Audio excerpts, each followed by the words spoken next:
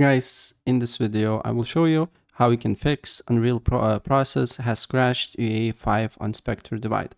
I know guys, if it's luck or the real fix, but what I just did, uh, I just went on Steam, go to library, went to library, Spectre Divide, uh, and then, uh, what is happening here? Uh, library, uh, then Spectre Divide, right click on it, properties, install files and verify integrity and the game files.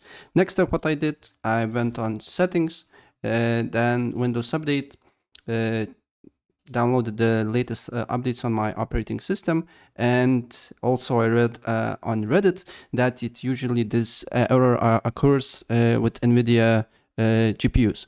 So also what I did, I just went to drivers, uh, check for update. Also it was a driver for me to update uh, my GPU.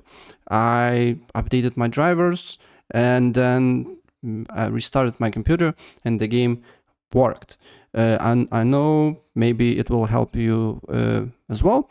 And also what I read on Reddit is that uh, Spectre Divide properties, uh, installed files, browse, you need to go here then you need to go to Spectre, binaries, Win64, and try to launch the game with Spectre client Win64 shipping exe.